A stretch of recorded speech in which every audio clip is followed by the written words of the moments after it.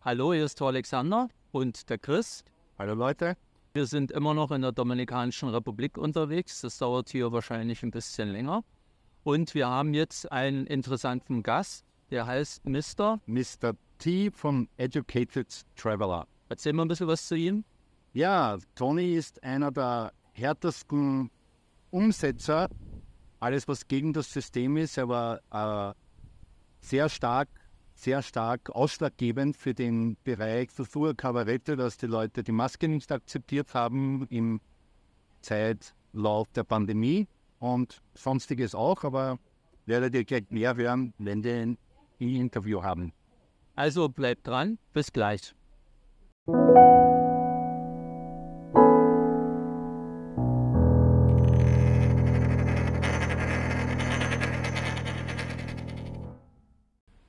Hallo, hier ist Alexander von defi.jetzt und ich bin heute mit Mr. T. Hello, Mr. T. Hello, Very honest. In English? Where we are? Well, das heutige Interview ist in Englisch, weil wir sind nicht in Europa. Ihr wisst ja, ich bin ja quasi auf Tournee. Ja. Und heute, where we are in, We are in Sosua, North Coast, Dominican Republic. and sun is shining, Yeah, good weather, good. pretty much. This is what we wake up to every day. Ah, okay, it's it's very boring. Yeah, Every day bad weather, blue sky, or we say Bavarian weather, yeah. white clouds and blue sky, like the the black of Bavaria. Sometimes we fall accidentally into a nice swimming pool. Oh, it's very dangerous. Yeah. Okay, but the, the topic today is talking about decentral money, um, especially about Bitcoin. You use Bitcoin? I do, yeah. Well, I'm probably, I don't know, a couple of years or three years maybe, I think. Uh, but on a small scale, I'm involved. You're uh, kind of, it was through a situation where my banks during this pandemic um, suddenly rejected my incoming payments. And uh, then I even got fined for it having been rejected. It was completely hypocritical. So I had to contact my merchant processor through processes to Visa, MasterCard, and all that, and say, could you pay me out in, say, Bitcoin? And he said, yeah, no problem. So I started getting paid directly from that company to me. There was no middleman that could mess with my money. So, uh, your your cards are in Europe normally? Your Visa or Mastercard? Is it? no, no, I'm talking about for the business I do here, I sell consultancy and tours, etc. So uh, if- if somebody wants to pay my business by Visa or MasterCard, you know, they do that, but then the money has to be paid out. And then they got sent to the banks here, they rejected it. And they did a lot of stupid things with people during this pandemic. And how you you came to the idea to uh, to get the payment in Bitcoin? Well, I, I had met these really nice uh, chaps around town who talked about Bitcoin. I got so they started educating me about it. That it's between the the the payer and the payee. You know, it's there's no middleman, and you can uh, have a direct transaction, and within half an hour to an hour, if it's a bigger amount, you can have an approval, and boom, the money's in your wallet. And and if it's uh, Lightning, which is the other wallet, uh, it could be within seconds. You know that they can. And which wallet do you use? Uh, Trust Wallet First wallet on your phone or on in the phone. on an, And then uh, you license do you use hardware wallet? uh, what? A hardware wallet? I wouldn't even know what that is. Ah, okay. Your your your um, Trust wallet is a software wallet. It runs on a, on a phone. It's only a software. That's and in a in a hardware wallet you have a separate device which is forking with your software on your computer on your phone. right. And this software on your phone and computer has connection to the internet. Sorry. And, and this this connection normally is very secure, encrypted, uh-huh. and only these two instances, devices, the big data. And it's a very safe one. Yeah, it's very safe for for bigger amounts. It's it's like your your safe the hardware wallet, no? For now. Okay. Um. And and what what is your experience uh, experience using Bitcoin? Very, very good. I mean, it saved me during this pandemic, pandemic thing, and uh, the ability to receive money from my sales. And then I went to a friend of yours, house behind the camera, Chris, and he helped me change it to cash, and I could operate like normal. Yeah. Uh, if I hadn't had that, that would have uh, put a lot more strain on on the whole situation. So uh, it saved me in many ways. And now we have a rubbish truck just out the front of the building. Yeah, this is a noisy uh, place. Uh, some of the problem in Latin America. Yeah. You find the silent place.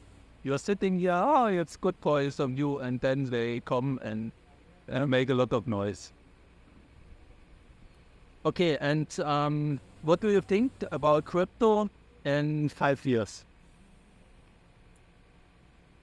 Well, the way they're pushing forward, it's very uncertain on what I can see what's going to happen because there's a big uh, war going on, literally, even in the financial side of things.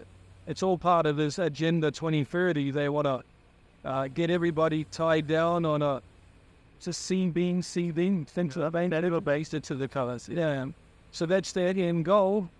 And I don't know if they're going to try to destroy all other cryptos in order to install their preferred digital money. Digital money in.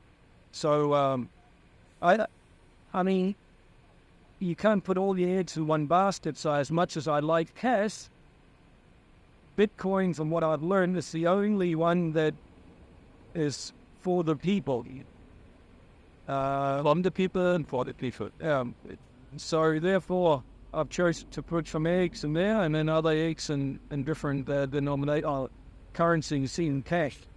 But my highest priority is to retain cash because that's freedom. And um, no, not not true because the central bank or the national bank that's um, offering with supporting this paper money that uh, has the decision is this if this paper money is valid, is legal or not. With Bitcoin, there's no one people, no one instancing instance which uh, can forbid uh, the Bitcoin. Okay, you you are free of use, and then if you don't accept use, no problem. There is a risk you accept Bitcoin. Even just I, I could find another one, but if the if the money from the from the local money or euro or dollar, if the central bank said, oh no, this money is not valid anymore, this is only printed paper, like it was in India and five, six years ago. I'm just saying if this is the risk, if the lose has, if the let's, just, let's just say a, a guy called Roger, he says, well, I don't want to have a cell phone because if people need to speak to me. I live just over there in the corner. I don't even want to have a cell phone. So what does he do? He doesn't want to have a cell phone. There's no cash anymore. So he has no way to buy stuff or sell stuff. Uh, what I like is pulling into the petrol station. I just hand 200 pesos. He drops some petrol in my tank. I'm gone. It's so fast. There's not a. I'm not building up a queue behind me. Actually, the moment he pulls the the fuel thing out of my tank, I'm already busy rolling forward to make room for the next guy. Say, spark.